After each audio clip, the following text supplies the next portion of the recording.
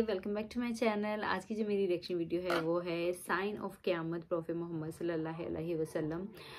Mention 1400 years ago so 1400 years ago जो prophet Mohammad हैं he has mention what would be the sign of क्यामत तो इस video को देखते हैं, फिर हम लोगों को भी पता चलेगा कि क्यामत जब आएगी तो उसकी क्या साइन होंगे। नॉर्मली जो मैंने भी सुना हुआ है क्यामत जैसे बोलते हैं ना कि क्यामत आएगी, तब उसके क्या साइन होंगे?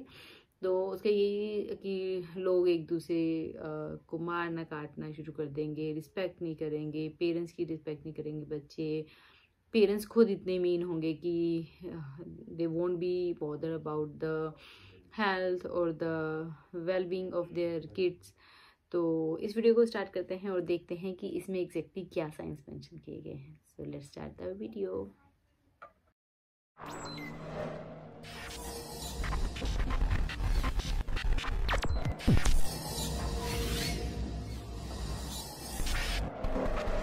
वालेकुम दोस्तों। मेरा नाम है असीब शफकत और आप देख रहे हैं हँसी टीवी। दोस्तों, मुसलमान होने के नाते कुर्ब क़्यामत पर और रोज़ मैशर पर हमारा ईमान है। जिस दिन हर ज़िंदा चीज़, ज़मीन, पहाड़, आसमान, हर चीज़ फना हो जाएगी और सिर्फ़ अल्लाह ताला की ही ज़ात बाकी रहेगी, जिसे क़्यामत कहते हैं। क़्यामत के मुतालिक हर उम्मत के अम्बिया कराम ने अपनी अपनी उम्मत के लोगों को डराया लेकिन हजूर पाक सल्लल्लाहु अलैहि वसल्लम चौंका आखिरी नबी हैं। और आपके बाद क्यामत तक कोई नबी नहीं आना था। लिहाजा आपने क्यामत की निशानियों को, उम्मत को वाज तौर पर खोल खोल कर बयान फरमा दिया। ताकि वो जब भी इनके सामने वकूब पजीर होने लगें तो लोग इन्हें पहचान लें कि ये क्यामत की निशानियाँ दोस्तों, क्यामत की निशानियों को दो हिस्सों में तकसीम किया गया है। एक को कहते हैं अलामत कुबरा, यानी कि बड़ी निशानियाँ।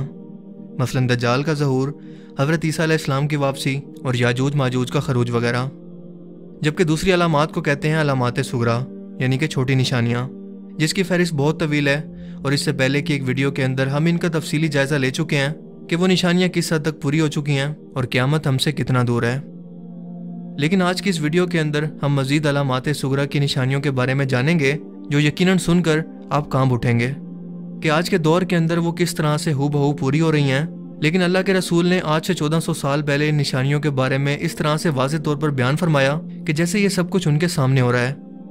लेकिन आज वो सब निशानियाँ हमारे सामने पूरी होने के बावजूद भी हम इन्हें पहचान ही नहीं पा रहे अलामत सुगरा यानी छोटी निशानियों में से ऐसी निशानियाँ जो पहले ही गुजर चुकी हैं, इनके अंदर हजूर पाक सल्लल्लाहु अलैहि वसल्लम का विशाल मुबारक, चाँद का दो टुकड़े होना और मदीना के अंदर एक होलनाक आग का लगना शामिल है। लेकिन जिन निशानियों का ज़ाहिर होना भी बाकी है या मौजूदा दौर के अंदर वो पूरी हो चुकी हैं, वो ये हैं। नबी करीम वसल्लम ने कुर्ब क़्यामत की निशानियाँ बयान करते हुए इरशाद फरमाया कि मेरी उम्मत के लोग आखिरी वक्तों के अंदर एक मोतान जैसी बीमारी का शिकार होंगे। यानी कि क़्यामत से पहले एक वबाई मर्ज इस कदर तेज़ी से फैलेगा, जिससे बेशुमार अमवात होंगी। सैकड़ों हज़ारों लोग इसकी वजह से मौत का शिकार हो जाएँगे और आप सल्लल्लाहु अलैहि वसल्लम ने इस बीमारी को कुआसुल गनम से तशबी दी। यानी कि वायरस के ज़रिए फैलने वाली एक ऐसी बीमारी जो सबसे पहले जानवरों को अपनी लपेट में ले लेती है और इनके नाक से जुकाम जैसा मादा खारिज होने लगता है।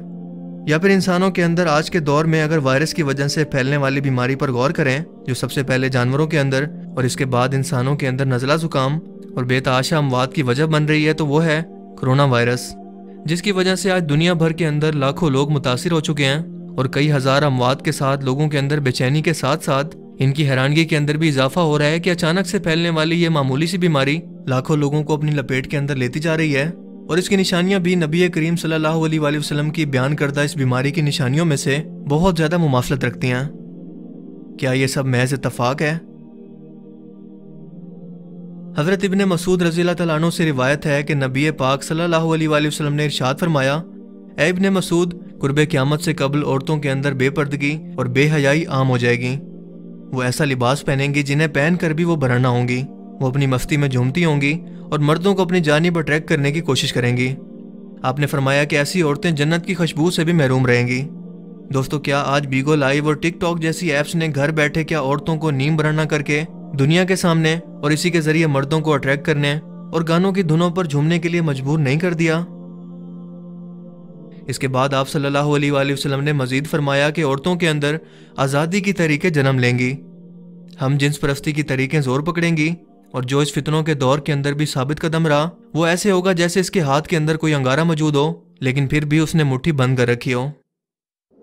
दोस्तों, आज औरत मार्च के नाम पर मेरा जिसम मेरी मर्ज़ी और हम जिन्स परस्ती की तरीके औरतों को घरों से बाहर निकाल कर किस तरह से फाशी और आज़ादी के लिए उभार रही हैं, वो किसी से ढकी छुपी बात नहीं है। और ना ही हैरत की बात है, क्योंकि अल्लाह के रसूल सल्लल्लाहु अलैहि वसल्लम ने आज से 1400 साल पहले ये बयान फरमा दिया कि मेरी उम्मत को ये फितना घेर लेगा इसीलिए आप सल्लल्लाहु अलैहि वसल्लम ने उम्मत को इस फितने से निपटने के लिए क्यामत की ये निशानी बयान फरमा दी लेकिन हम अपना एहतसाब खुद कर सकते हैं कि कितने लोगों को इस फितने के बारे में आज पता है, या फिर कितने लोगों ने इस नज़रिए से इस तहरीक को देखने की कोशिश की।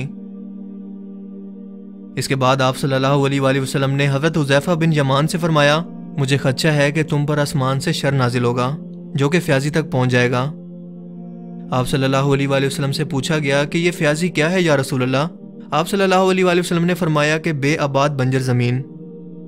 अरबी ज़बान के अंदर असमा हर इस चीज़ के लिए इस्तेमाल करते हैं, जो इंसान के सर के ऊपर मौजूद हो, या फिर इसका साया इंसान के सर पर पड़े। और आज के दौर में आसमान पर मौजूद इस फितने का नाम है सेटेलाइट टीवी चैनल्स, जो आज बेआबाद बंजर ज़मीनों पर भी मौजूद लोगों के घरों पर हमारी आँखों के सामने मौजूद हैं। और ये टीवी चैनल्स दिन रात मनफी प्रोपेगेंडा करके इंसानों को फितने और फसाद में मुबतला कर रहे हैं। क्योंकि इस मीडिया को दुनिया के सिर्फ़ चंद ताकतवर तीन लोग ही आज कंट्रोल कर रहे हैं। नबी पाक सल्लल्लाहु अलैहि वसल्लम ने फरमाया कि मेरे बाद मेरी उम्मत के अंदर तीस के करीब झूठे नबी या कजाब पैदा होंगे, जो बातिल बातों के ज़रिए फितना पैदा करेंगे। ज़माना कदीम में मुसलमा कजाब और एक झूठी नबिया जो आप सल्लल्लाहु अलैहि वसल्लम की वफात के अगले साल ही खुद को पैगंबर कहकर ज़ाहिर हुई, इन झूठे नबियों का सिलसिला आज तक चल रहा है, जिसका आखिरी दावेदार दजाल होगा जो खुद को खुदा का पैगंबर कहेगा। लेकिन अल्लाह के रसूल सल्लल्लाहु अलैहि वसल्लम ने फरमाया कि मेरी उम्मत के कबाइल, यानी अरब के लोग फिर से मुशरकिन से मिल जाएँगे और बुतों की पूजा करेंगे। मेरे बाद तीस झूठे नबी ज़ाहिर होंगे, लेकिन याद रखो कि मेरे बाद कोई नबी नहीं है। दौरे हाजिर के अंदर एक सदी पहले हिंदुस्तान के अंदर अंग्रेज़ों ने एक शख्स मिर्ज़ा गुलाम अहमद कादियानी को मुसलमान उम्मत को तोड़ने के लिए और इसे गुमराह करने के लिए लॉन्च किया। ताकि मुसलमानों के ईमान से जहाद और जालिम हुक्मरान के सामने डट जाने की तालीमत को तोड़ा जा सके। इस्लांती शख्स ने नबूत का दावा किया और कहा कि मुझ पर आसमान से वही नाजिल होती है। और मुझे खबर दी गई है कि मैं अस्सी साल तक ज़िंदा रहूँगा, लेकिन यह पैंसठ साल की उम्र में ही बीमारी से लड़ते हुए बैतुल खला में गिरकर मर गया। मौलाना सनाउल्ला इस शख्स के सबसे बड़े मुखालिफ थे। गुलाम अहमद कादियानी ने इन्हें मनाजरे का चैलेंज किया और दावा किया कि हम दोनों में से जो झूठा हो इसे सच्चे की ज़िंदगी में मौत आ जाए। इस पर ताउन की बीमारी नाजिल हो, जो इसे मौत दे दे। इस दुआ के सिर्फ़ एक साल बाद ही अपनी खुद की बदुआ से यह शख्स तड़प तड़प कर मर गया, लेकिन इसका शुरू करता फितना आज भी चल रहा है। क्योंकि कई सौ पैगंबर दावा नबूत कर चुके हैं, लेकिन हजूर नबी करीम वसल्लम ने जिन तीस नबियों के बारे में बयान किया, यानी कि झूठे या कजाब, ये वो लोग थे जिन्हें हुकूमत, शोहरत और पैरोकार नसीब हुए, जिनमें से एक मिर्ज़ा गुलाम अहमद कादयानी भी था। आप सल्लल्लाहु अलैहि वसल्लम ने फरमाया कि आखिरी वक्तों के अंदर नाअहल, बेईमान, करप्ट और कबीले के सबसे बदतरीन लोग हुक्मरान होंगे। इन्हीं लोगों का माशरे पर गलबा होगा। लोग इनके शर से बचने के लिए इनकी इज़्ज़त करेंगे और कोई भी इनके सामने हक बात कहने की ज़रूरत नहीं करेगा। अहमक और जाहिल लोग सबसे ज़्यादा खुशहाल होंगे।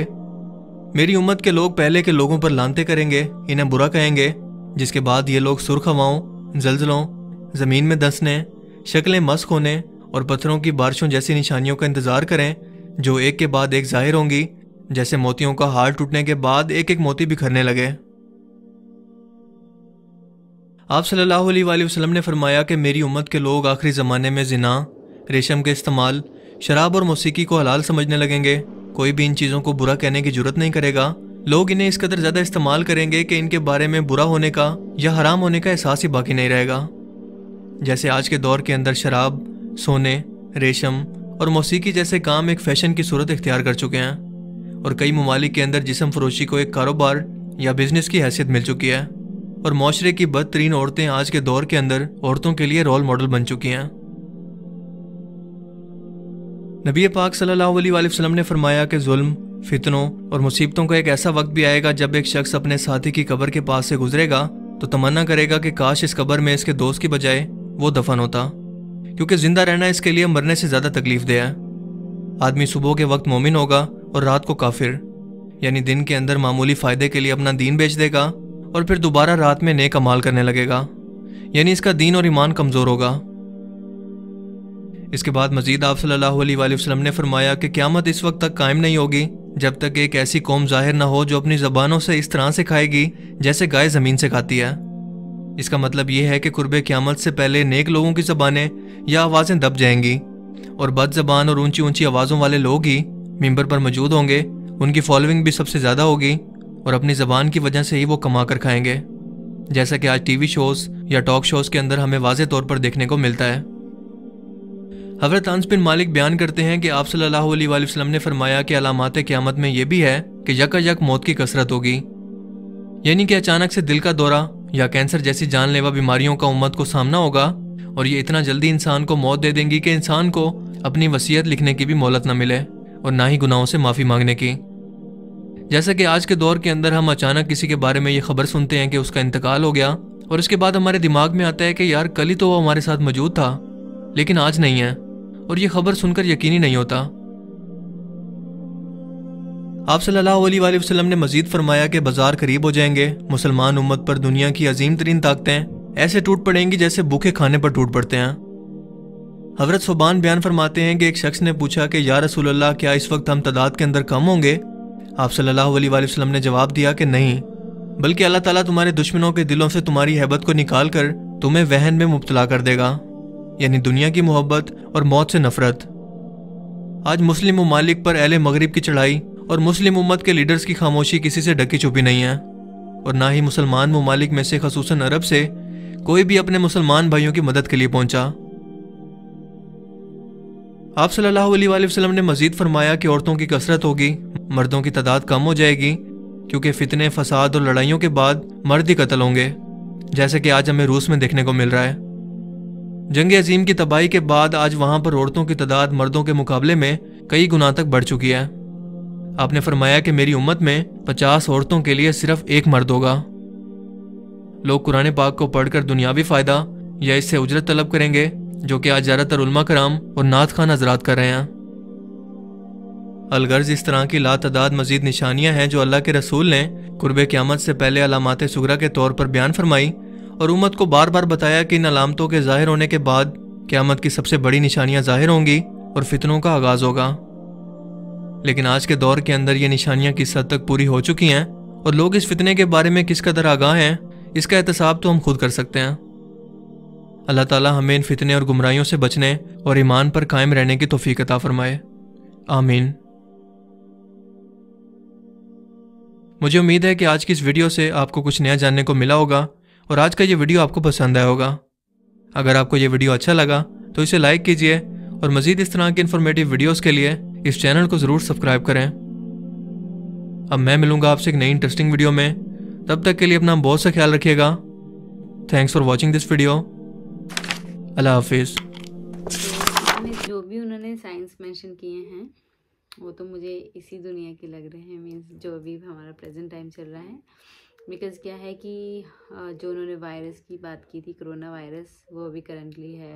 टिकटॉक और जितने भी ये सोशल मीडिया प्लेटफॉर्म है जिनका बहुत ज़्यादा ट्रेंड आजकल के टाइम पे चल रहा है, वो भी रिसेंटली हुआ है, इससे पहले नहीं था। मीन्स लोगों को अगर हम दस साल, पंद्रह साल पहले की बात भी करें तो कोई, मीन्स हार्डली कुछ एक आधा फेसबुक या ओरकुट वगैरह उस टाइम पे लोग यूज़ करते थे, जो कि गूगल ने एक ओरकुट भी लॉन्च किया था।